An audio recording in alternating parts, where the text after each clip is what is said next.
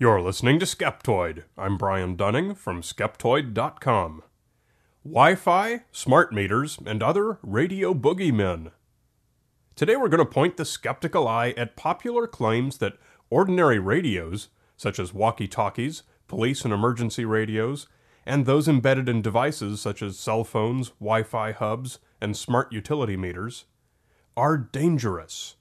Some say they cause cancer. Some say they present other more nebulous health risks. How concerned do you need to be that something as ubiquitous as radio could be doing you more harm than good? This issue rose to the headlines in popular media with a frightening announcement in May of 2011 by the World Health Organization.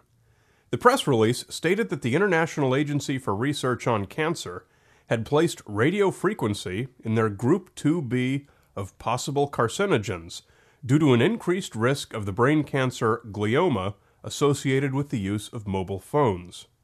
Unfortunately, very few people actually read the release and saw only that headline, which presents a highly skewed perspective of what was actually said. As a result, new movements arose worldwide, notably in Canada, for certain RF devices to be banned. Canada's Green Party openly called for the elimination of Wi Fi computer networks in schools, and many groups have campaigned against the purported health effects of smart meters. My question to the groups actively campaigning against stuff that's in Group 2B is Do you drink coffee? Most do, and yet coffee is also in Group 2B. So are the crafts of carpentry and joinery, pickled vegetables, coconut oil, and even the Earth's magnetic field are in Group 2b. Now, granted, it would be fallacious logic to say that just because these other things sound ordinary and safe, that makes radio frequency safe. But it is true that the World Health Organization considers them to be similarly risky.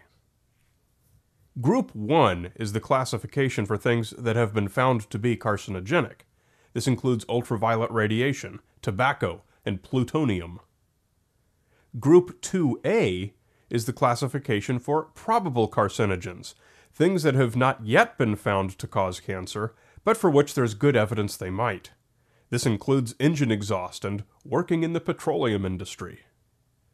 Now, Group 2B is the list of possible carcinogens, which are things that have not been found to cause cancer, but for which there is cause to study further. It is a list of items which have not, repeat, not been found to be carcinogenic. Will they tomorrow? Maybe, but they're not now, according to what we know so far. If the World Health Organization is the authority whose word you're going on, then you should look at what they actually say.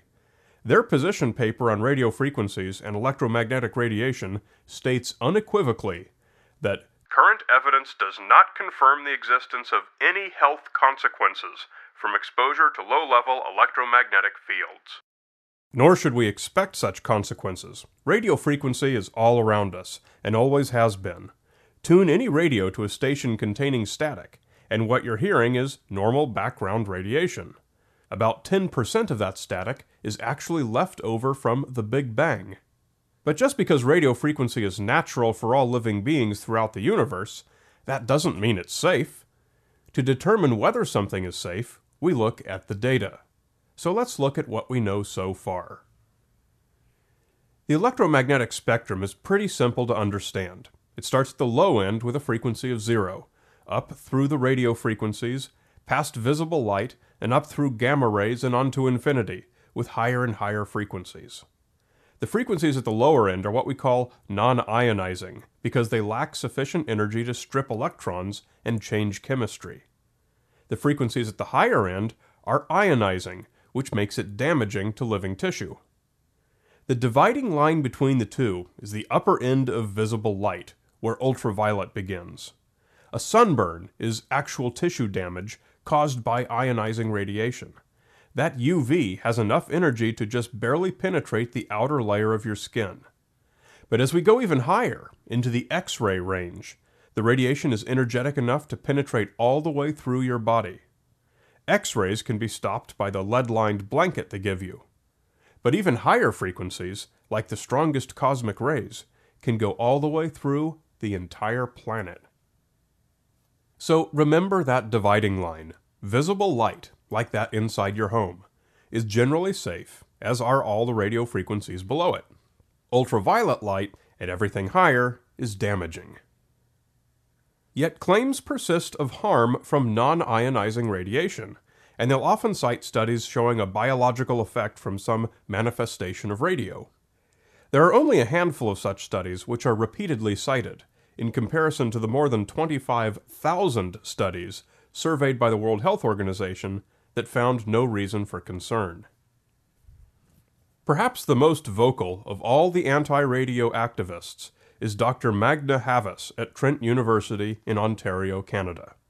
You'll be hard pressed to find a mass media article about the safety of radio devices that doesn't cite Dr. Havas as its expert.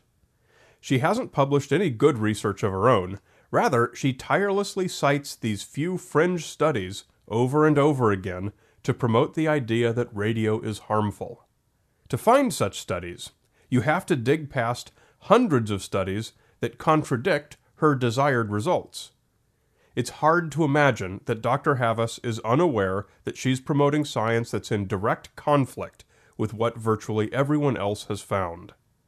You have to wonder whether her students accept her claims at face value or whether they view it within the context of the scientific consensus. Dr. Havas cites one such study that she says showed mobile phone signals break down the blood brain barrier. In fact, this study was a single in vitro petri dish experiment, and the authors only hypothesized that one potential effect might be to increase the blood brain barrier permeability. In other words, nobody has ever observed such an effect. Another study is often cited as showing that non ionizing microwaves have been found to cause single and double strand DNA breakage.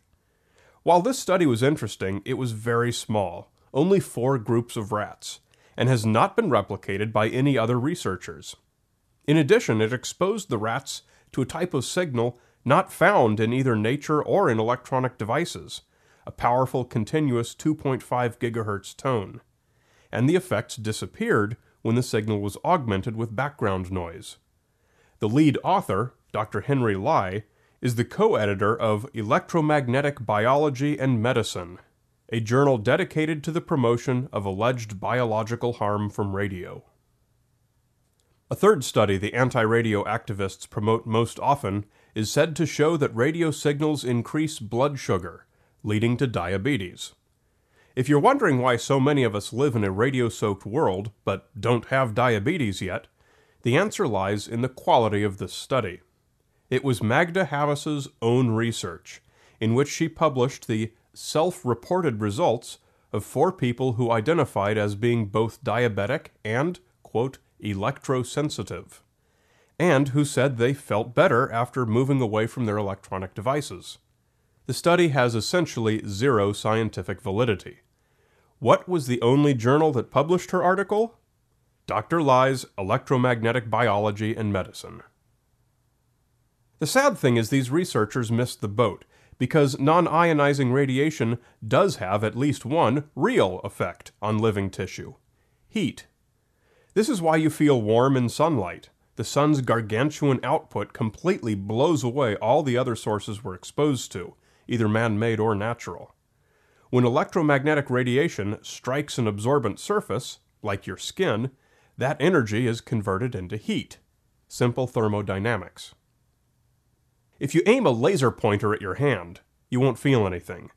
Some of the energy of that light reflects from the visible spot that we see, and some of it is absorbed by your hand and converted into heat. But there's not nearly enough heat for your nervous system to detect. But crank up the power to that of an industrial laser, and it could burn a hole right through your skin.